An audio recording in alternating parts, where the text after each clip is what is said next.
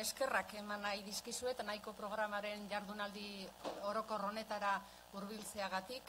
E, ondo dakizuenez, ba, jardunaldi bakoitzean irakaspen bat e, izatea, jardunaldi bakoitza irakaspen bat izatea e, da gure duguna, eta e, hori da, e, bueno, bain zuzen honen e, jardunaldiaren e, helburua. E, nahiko programaren e, ardatza ondo dakizuen bezala, ba, eskidetza da, eta bere helburuan helburu nagusia da neska eta mutilek e, mutilgazteak ba, berdintasunean errespetuan eta e, indarkeriaren kontrako e, jarreretan estea.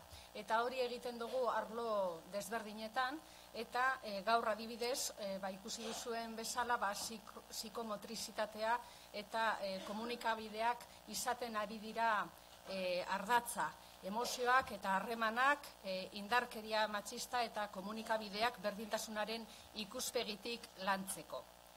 E, aipatu dan bezala, e, nahiko eskietza programak amabost urte bete ditu, amabost urte hauetan, amabost mila ikasle baino gehiago parte hartu dute programa honetan, Amabost urte hauetako esperientziak eta egindako ebaluazioen emaitzek argi eta garbi erakusten digute eskidetzan oinarritutako programa eh, honetatik igaro diren ikasleen artean hobekuntzak eman direla.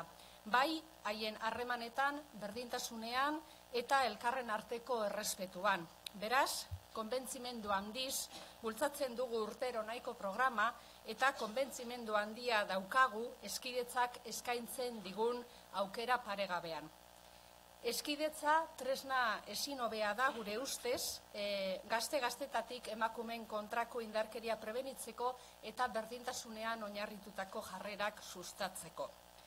Gogoratzearen, e, 2000 da amazazpi eta 2000 da emeretzi urten bitartean, berrogeta hiru ikastetze zaudete nahiko programa erabiltzen, irureun da bat irakaslek parte hartzen e, duzue, eta 6.000 da irurogeita bederatzi ikaslerekin lantzen ari zarete programa hau. Hori da gure lan esparrua. Ikusten duzuenez, sare potentea osatzen duzue. Beraz, e, nire aldetik, bakarrik eskerrak eman, egiten ari zareten lan guztiagatik, lehenik eta bain irakaslei, zuen implikazioagatik, zuen implikazioarik gabe ezinezkoa, e, ezinezkoa litzateke zer egitea, eskerrak baita ere ikaslei eta haien e, gurasoei eta noski, ba, nahikoren e, koordinazioa lanetan zaudeten horebe taldeari eta emakundeko e, langilei.